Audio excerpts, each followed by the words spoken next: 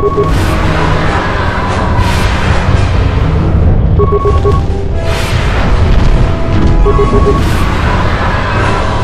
you.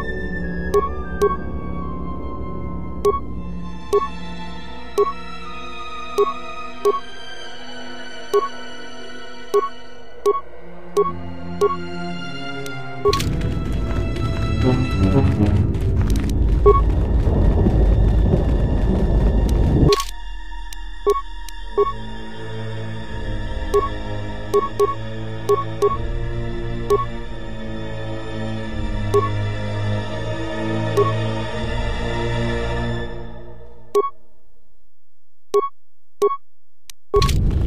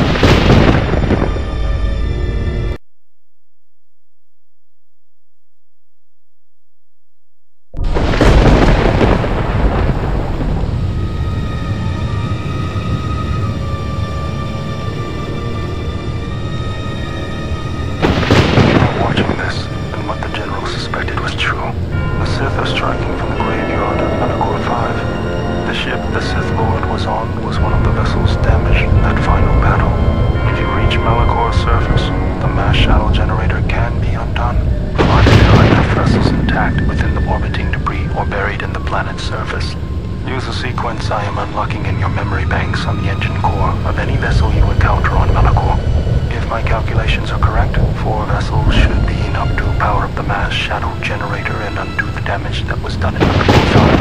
The damage I did. Once the sequence has begun, it cannot be stopped. So make sure the shadow is off the planet before triggering the sequence. Otherwise, there will be no retreat. I know your weapon systems are minimal, and I don't know what awaits you on Malachor surface.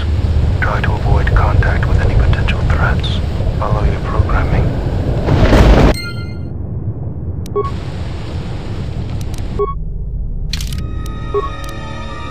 you